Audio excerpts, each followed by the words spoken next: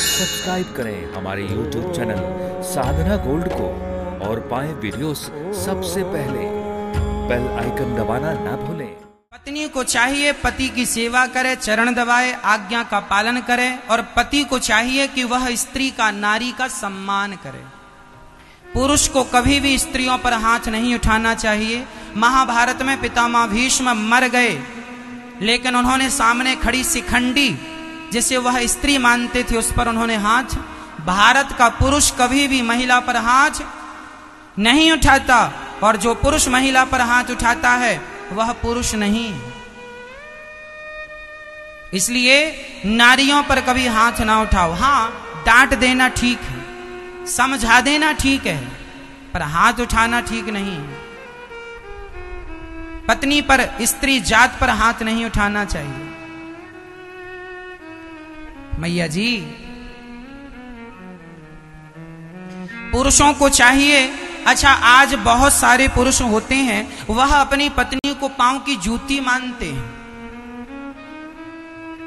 बहुत सारे पुरुष होते हैं, वो अपनी मर्दानगी में रहते हैं। हम तो पुरुष हैं, बड़े हैं। हम तो तुम्हारे, हम तो कमा के लाते हैं। तुम तो हमारे पाँव की जूती हो। भाई साहब, देखो, नारी पाँव की जूती नहीं होती। नारी सिर की पगड़ी होती है, जो कि आपका गौरव है, आपका सम्मान है। एक नहीं दो दो कुलों को सवारती है स्त्री। इसलिए आपके बच्चे को जन्म देने वाली वो जननी है, आपका वंश बढ़ाने वाली वो माता है। इसलिए नारी का सम्मान किया जाए, नारी का अपमान ना किया जाए। कोई पुरुष कहे कि मैं ही सब कुछ हूँ, पत्नी कुछ नहीं है तो फिर साहब, तुम अकेले क्या कर लेते? हाँ? यदि पुरुष बाहर निकल के कमाता है तो घर की व्यवस्थाएँ करना भी आम बात नहीं है, जो कि महिलाएँ घर का सारा काम करती हैं, घर को मेंटेन करती हैं। यदि आप बाहर से पैसा कमा के लाते हैं तो घर का मेंटेन नारियाँ करती हैं। जरा तुम एक दिन करके देख लो, पता चल जाएगा। इसलिए नारी को कम ना समझा जाए, फिफ्टी पुरुष है तो फिफ्टी नारी है फिफ्टी फिफ्टी हंड्रेड अब पुरुष कहे, मैं फिफ्टी वन हूँ, तू फोर्टी नाइन है। तो ये पुरुष की सोच गलत है। नारी कम नहीं, पुरुष ज़्यादा नहीं, तुम दोनों साइकिल का पहिया हो। साइकिल में दो पहिए होते हैं। अब बताओ, दो पहियों में कौन सा पहिया महत्वपूर्ण है और कौन सा पहिया हम निकाल के फेंक दें, बताओ। साइकिल के दो पहियों में कौन सा ज़्यादा महत्वपूर्ण है बताओ, उसे रखते हैं, बाकी फेंक देते हैं। कौन सा? अरे भाई, साइकिल तब चलती है जब दोनों पहिया मेंटेन हो, दोनों बराबर हो।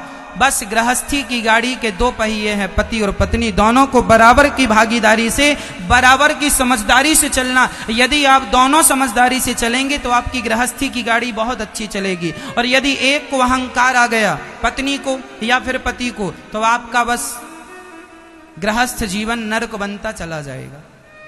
इसलिए समझदारी से गृहस्थी चलती है एटीट्यूड अहंकार से गृहस्थी नहीं चलती। अब पत्नी अहंकार करने लग जाए, मैं तुमसे ज़्यादा कमाती हूँ। पुरुष ज़्यादा अहंकार करने लग जाए, जानती नहीं है। मेरे कारण तू बड़ी बड़ी गाड़ियों में घूम रही, तेरी औकात क्या थी? हाँ? तेरे बाप के यहाँ तो क्या था? मेरे यहाँ देख, ये है। तो आप अपनी पत्नी को ऐसे ताने मारेंगे तो क्या पालेंगे? क्या हासिल कर लेंगे अपनी पत्नी को ताने मार के? अब जैसी है, तुम्हारी है। शादी के पहले तुम्हें सोचना चाहिए था कि किस बाप की बेटी से विवाह करें, किस बाप की बेटी से ना करें। अब विवाह कर लिया है तो ताने ना मारो। उस रिश्ते को निभाओ, यही तुम्हारी समझदारी है। निभाओ। अब ताने मारने से कोई समाधान तो निकलना नहीं है। इसलिए समझदारी यह है कि जो, और मैं आपको बता दूँ, रिश्ते सबके भगवान तय करते हैं, रिश्ते सबके भगवान बनाते हैं। हमें तो मृत्यु लोक में आके केवल उन रिश्तों को निभाना होता है तो बड़े प्रेम से निभाओ, लड़ाई झगड़े में कुछ नहीं रखा। पति जो है, जैसा है अच्छा है। तुम्हारा पति गोरा है, काला है, गरीब है, अमीर है, ठीक है, अब निभाना है। अब बाप को अरे, मेरे पिताजी ने गलत किया। ऐसे लड़के से मेरा विवाह कर दिया। कर दिया ना? पहले कहाँ थे? तुम्हारी आँखें पहले नहीं थी? पहले देखना सुनना नहीं था? इसीलिए पहले सब देख लो। लड़की अच्छी है कि खराब है? लड़का अच्छा है कि बुरा? पहले निश्चित कर लो। शादी के बाद मुँह ना बनाना। फिर रिश्तों को निभाना। अब जैसी है और जैसा है वह आपकी है, वह आपका है। रिश्तों को निभाना सीखो। रिश्तों को बिगाड़ने से कोई फ़ायदा नहीं। तो नारी पाँव की जूती नहीं, सिर की पगड़ी है। तो नारी का अपमान कदापि पुरुष को नहीं करना चाहिए। समझदार पुरुष तो अपमान नहीं करता। कुछ मूर्ख क्वालिटी के पुरुष होते हैं, वह अनादर करते, अपमान करते।